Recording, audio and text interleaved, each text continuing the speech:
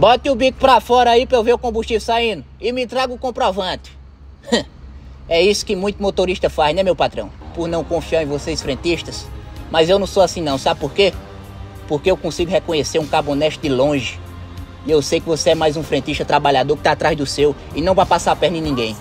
Vocês são muito importantes pra gente. O nosso combustível não é esse que tá aí dentro desse negócio, não.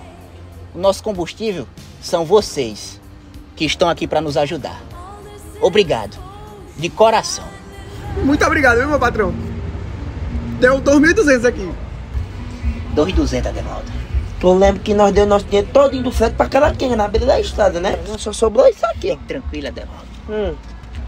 Meu patrão, eu não sei nem como é que eu posso lhe falar isso, mas na cidade vizinha eu perdi minha carteira, meu dinheiro, perdi tudo. Meu Deus, como é que eu vou pagar isso? Faz o seguinte, irmão. Pode ir, vai na paz. Quando você estiver voltando, você me paga, tá bom? Se você insiste, meu patrão.